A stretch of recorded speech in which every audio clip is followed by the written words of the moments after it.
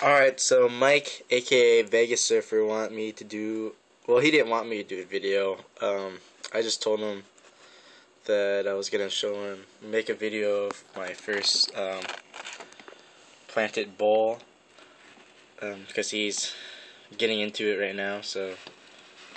Was thinking about doing one, which is cool. It's a fun little project, and you don't really have to worry about about it too much.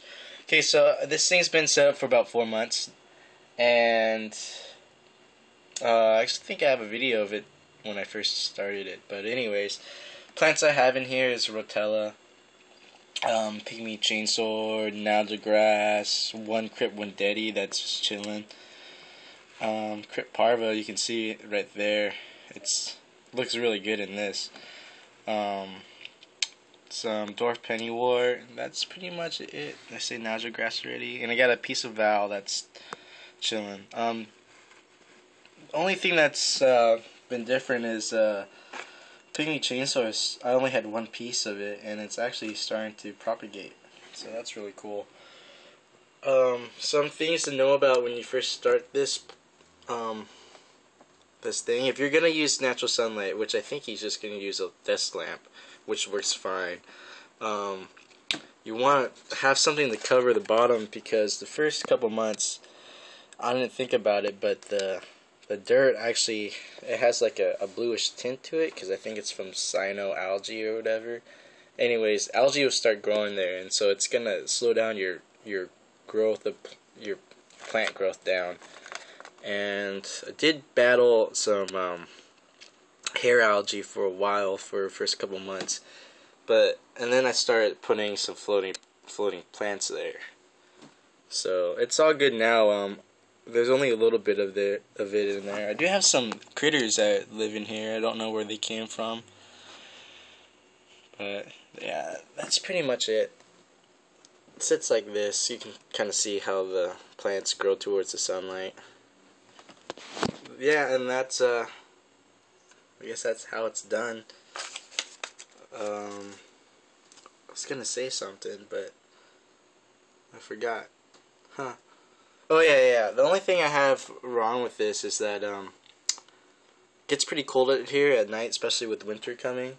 But uh, we just set up a heater in here because my grandpa has some tropical plants that he's growing in here. Other than that, um, like I said, the temperature is pretty inconsistent. It's pretty warm right now, but now it's cooling down since I've opened up the door to the house. And it gets really cold, so just be wary of that. I'm probably going to add some shrimp in here during the springtime. And I have another 2.5 sitting here. You can see that it has a piece of driftwood that has a bunch of funk on it. Um, this used to be in my 10 gallon, but I've took it out because I got tired of um, taking it out and vacuuming the bottom.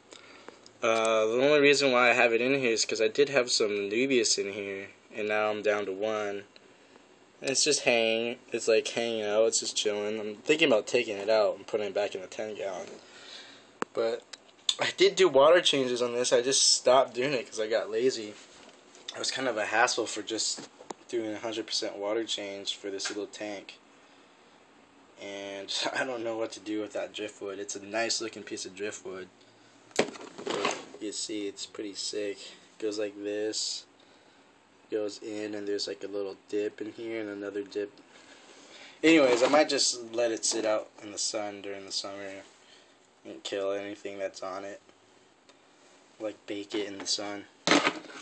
So that's it. Um, thinking about maybe putting the rest of my hair grass or some plants in there because plants outside are starting to die. But that's off the topic